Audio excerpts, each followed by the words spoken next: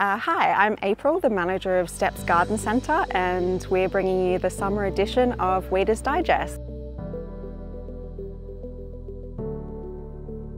Um, we're going to get into some tips this summer about how to keep your garden healthy and how to look after yourself, um, staying hydrated, seeking out shade and even picking your timing. For example, you wouldn't want to harvest your salad greens in the middle of the day when they're wilted and sad. So we'll talk about all of those things. Mulching is a great way to conserve water and regulate your soil temperature, keeping your plant roots nice and cool.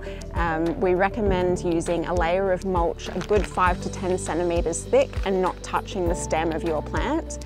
Um, mulching will also break down to help feed the worms. It will help prevent erosion from heavy rainfall, which we can get at this time of year, um, and is just a great way to keep your plants and garden healthy throughout the hot seasons.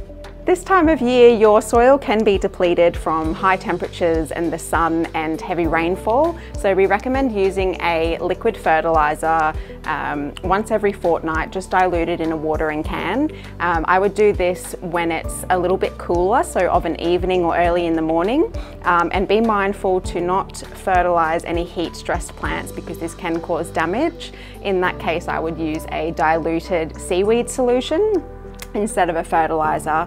Um, and we recommend and use here Bioguano. They have a blue one and a green one. The blue one is potassium and phosphorus based and the green one is nitrogen based. So great for all purpose uses.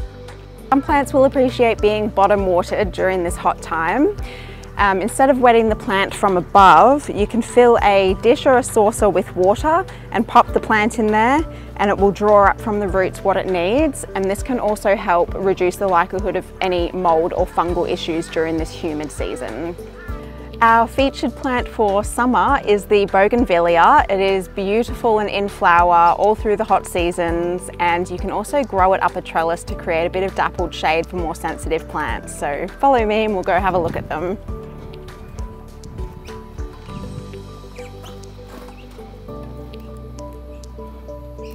We've got the Bambino range, which doesn't get huge, so it's great to contain to a backyard, grow it up over a water tank or just something to add a pop of colour, and they're very heat tolerant as well.